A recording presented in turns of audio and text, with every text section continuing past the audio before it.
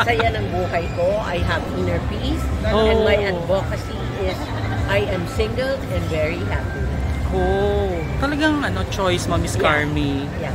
Oh, what happened along the way? Ano y- No, it became my choice because I was miserably looking for uh, a boyfriend Oh. because, uh, you know, tawag dito, syempre, ang mga tao sinasabi na you are not complete if you don't have a Yes. boyfriend. And that Mhm. was my mentality before.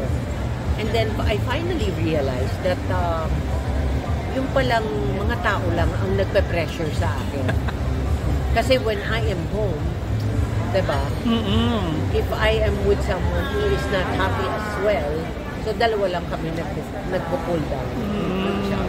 Miss Sige. Carmi, paano naman yung mga fears, di ba?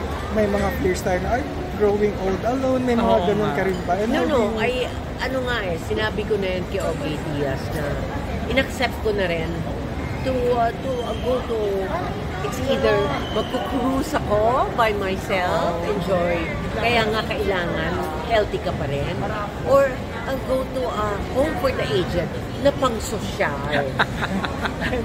ay hindi ko na guguluhin pa yung mga kapatid ko or or stay home or something. Or maybe stay home with a helper, 'di ba, na ilalakad ako. Pero yung mentality ko is that uh, I, I'll just take one day at a time and I will be so grateful to the Lord that I have this day. So may peace ka po doon. May Yes. peace ka. Oo. Pero about the suitors? Talaga third down agad kapag may nanliligaw? Ko, eh, ang gulo naman ngayon, di ba? Sa mundong ito, kung hindi rin sugarel, ano, nagsusugal, lalaki rin yung hinahanap. Parang masyadong komplikado, o kaya may sakit, alagaan ko pa, edi mabuti pang ano, marami na lang ako ginagawa. And I enjoy what I have my have